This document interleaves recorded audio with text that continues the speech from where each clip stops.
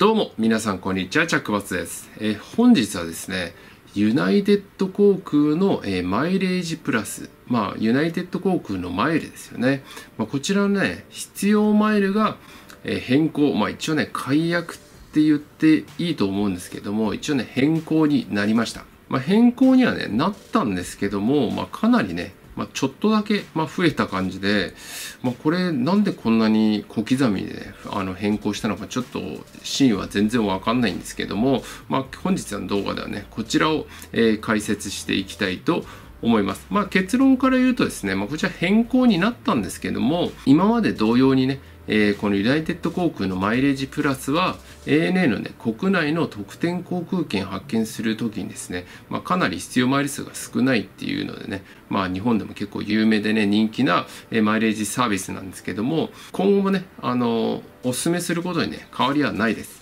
ですので、まあ、今回のこの動画もね、まあ、参考程度にね、聞いていただけたらなと思います。え、まずですね、このユナイテッド航空の、え、マイレージプラスはですね、ANA などだと、え、親族の方じゃないと特典航空券ってまあ利用できないんですけども、え、ユナイテッド航空のマイレージプラスの場合は、え、誰でもね、え発見することができます。ですので、えお友達のね、航空券を発見してあげるとかね、そういうこともできます。で、え必要マイル数がね、今回、え変更になりましたんで、ちょっとここはね、後で解説させていただきますね。で、特典航空券の発券が、え30日以内となる場合は、まあ、緊急発券手数料みたいな感じで、まあ、本来の必要マイルからね、え3500マイルね、アップするっていう形になります。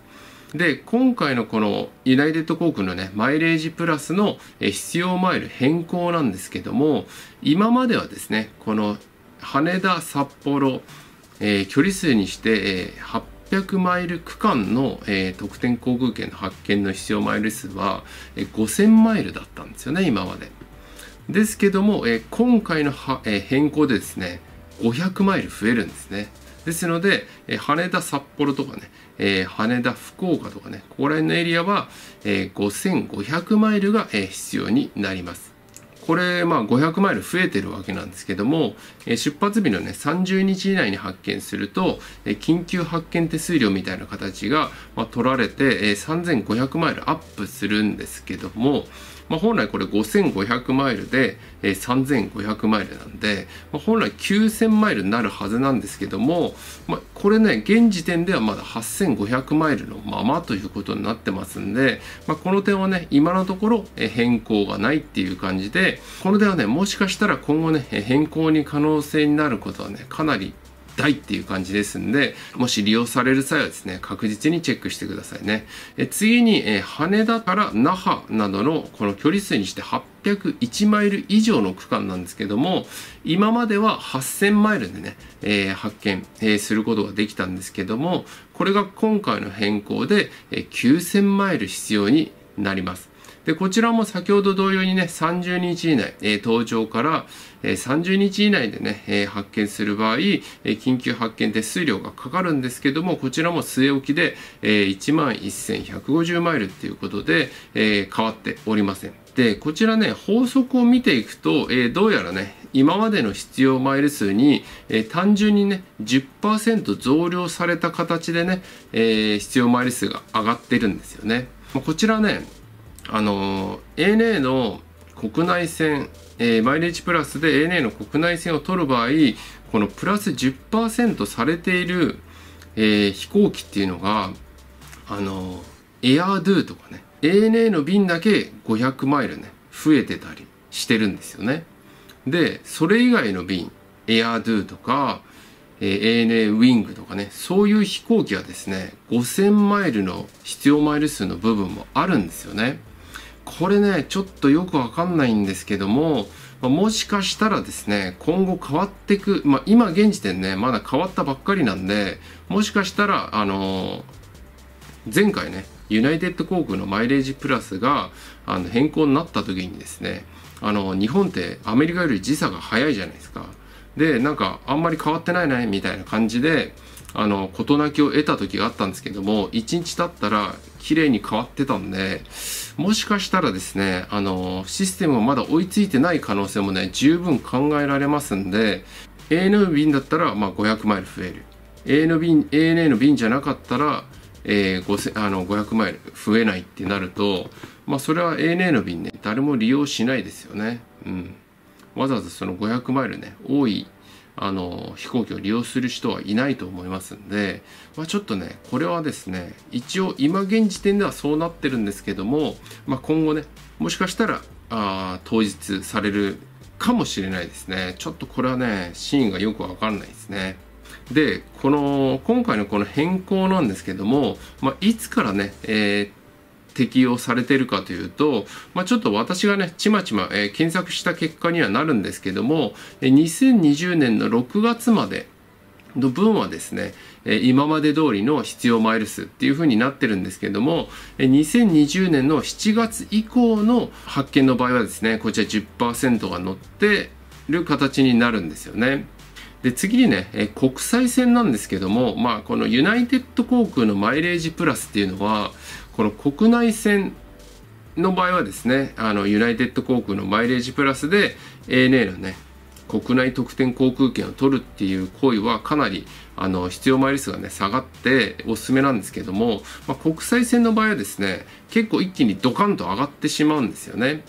ですので、まあ、すごいおすすめかっていうとね、うんっていうところなんですけど、一応ね、あの、こちらも、えー、調べたんですけども、えー、東京ニューヨークね、エコノミークラスの場合は、もともと3500マイルっていう風になっているんですけども、ANA の便は、えー、38,500マイルっていう風になっておりまして、まあ、こちらもね、単純に10%増えたっていう感じになっております。で、こちら東京ニューヨークのね、ビジネスクラスの場合は、今まではね、えー8万マイルだったところが、えー、8万8000マイルっていう風になりますんで、まあ、こちらもね、えー、10%増量っていう形になってるんですけども、このビジネスクラスに関してはですね、あの、先ほど ANA の便だけね、えー、3500マイルエコノミークラスでプラスされてたんですけども、ビジネスクラスの場合はね、どの航空会社を利用したとしても、えー、8, まあ、8万8000マイルっていう風になって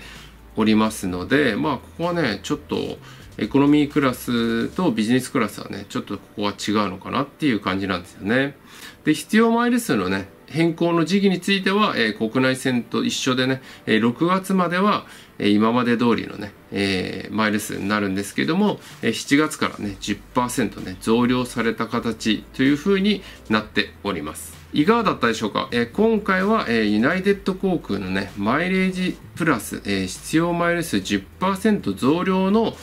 変更が来ましたということで、え解説させていただきましたけども、まあ、それでもですね、今現時点でこの国内の、えー、特典航空券、マイレージプラスで発見するっていうものは、あの ANA のね、あの特典航空券で取るよりかは、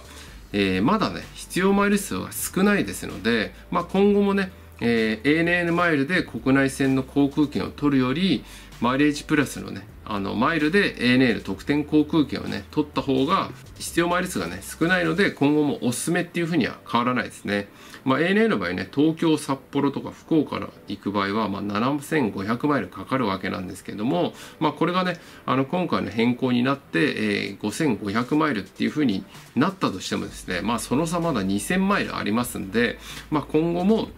えー、国内の移動はね、え、ユナイテッド航空のマイレージプラスがねまあ、おすすめっていう風になりますかね。まあちょっとね、外資系の航空会社はですね、こういう変更はですね、まあ今回もこれサイレントでね、発表なしで、あのー、されたわけなんで、まあこれがちょっと怖い部分ではあるんですけどもね、今現時点ですね、まだおすすめっていう風になっております。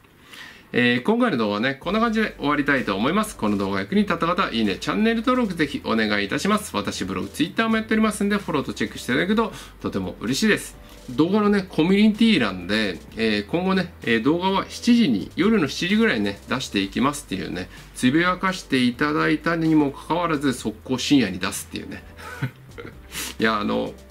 ちょっとね、この情報が出て、えー、取りすぎで、え情報をまとめましたので、ちょっとね、この時間にアップするようになってしまいました。それではまた次の動画でお会いいたしましょう。バイバイ